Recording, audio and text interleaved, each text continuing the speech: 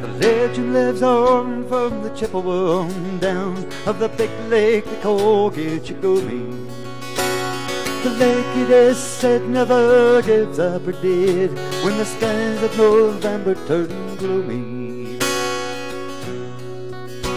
With a load of iron ore, 26,000 tons more than the Edmund Fitzgerald weighed empty. That good ship and true was a bone to be chewed uh, when the gales of November came early. Now the ship was the pride of the American side, coming back from some mill in Wisconsin. As big freighters go, it was bigger than most, with a crew and good captain well seasoned. Concluding some terms with a couple of steel firms when she left fully loaded for Cleveland. Later that night when the ship's bell rang, could it be the north wind they've been failing?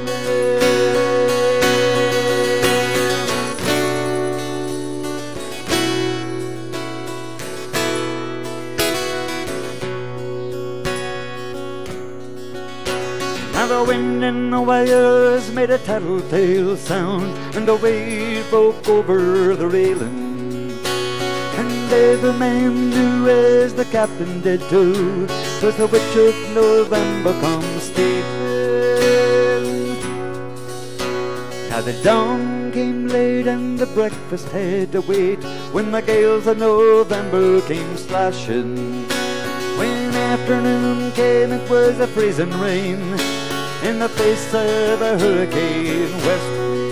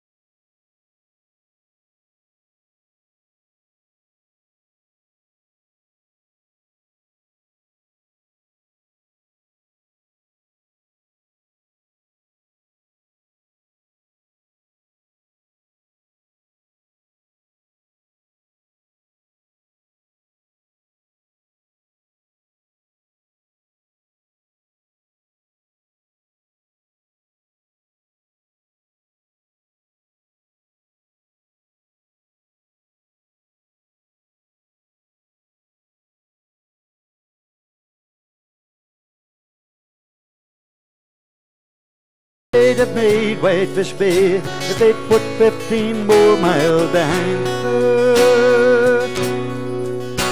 And they might have split up, or they might have capsized. They may have broke deep took a water. All that remains is the faces and the names of the wives and the sons and the daughters.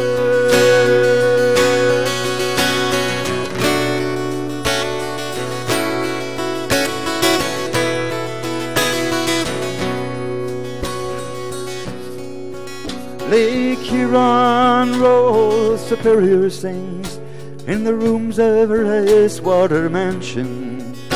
Old Michigan steams like a young man's dreams. The islands and bays are for sportsmen. And farther below Lake Ontario takes them with Lake Erie and Cinder. Boats go as the mariners all know where the gales of November remember.